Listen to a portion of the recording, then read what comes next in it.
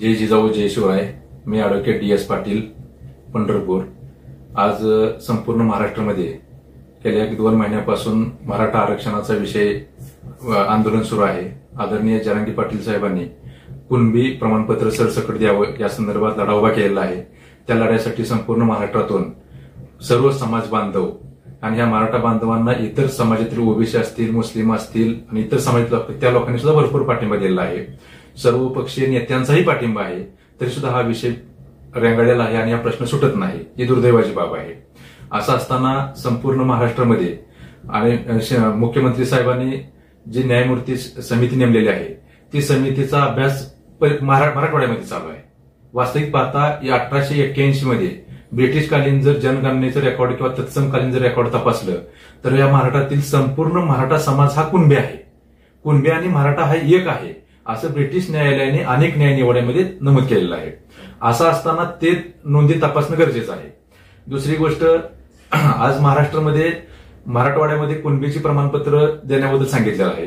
मुख्यमंत्री साहेबांनी ज्यांच्या नोंदी आहेत त्यांना कुणबी सर्टिफिकेट द्या म्हणून आदेश केलेला आहे. न्यायमूर्ती शिंदे समिती जे अभ्यास चालू आहे त्या अभ्यासाची गरज काय? आज आमच्या पंढरपूर तालुक्यातील बोसिया गावातील काही समाजसेवकांनी बोसे जिल्हा परिषद शाळेतील एकोणीसशे बारा एकोणीसशे बारा पूर्वीचं रेकॉर्ड तपासलं शाळेतील. त्या ठिकाणी वीस ते पंचवीस नोंदी कुण मराठा ही कुणबी असल्याबाबतीत आढळून आलेल्या आहेत.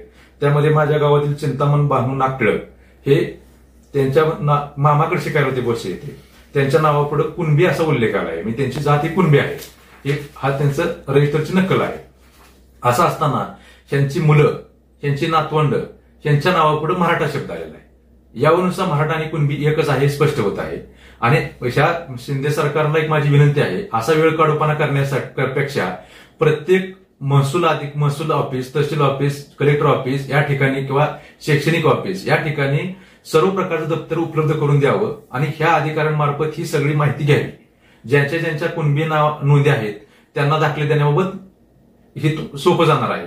दुसरी गोष्ट एका गावामध्ये एका आडनावाचं एक एकच कुळ असतं एक भावकी असते एक गोत्र असतं. त्या काळात प्रत्येक गावात शाळा नव्हती प्रत्येक ठिकाणी नोंदी नव्हत्या.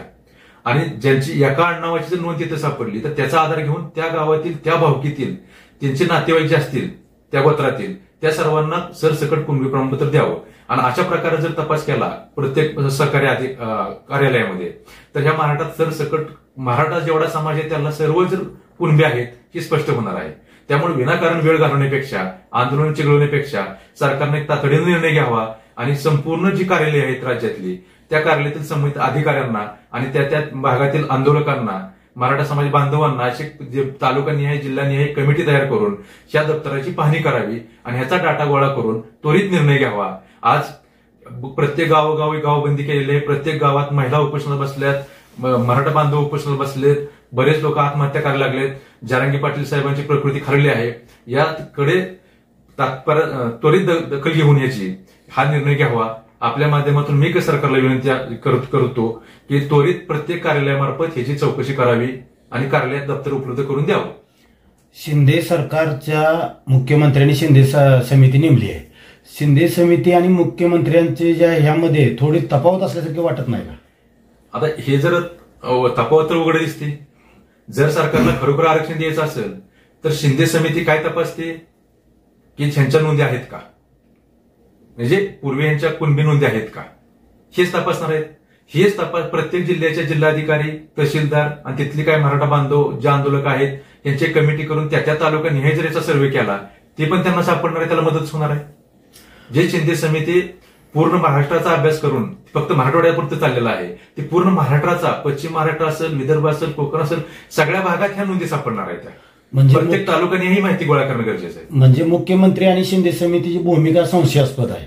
मुख्यमंत्र्यांची भूमिका फक्त वेळ काढूपणाची फक्त समाजाला झुलवत ठेवायचं आहे आणि ह्यातून राजकारण करायचं आहे ओबीसी आणि मराठा वाद चिघळवायचा आहे.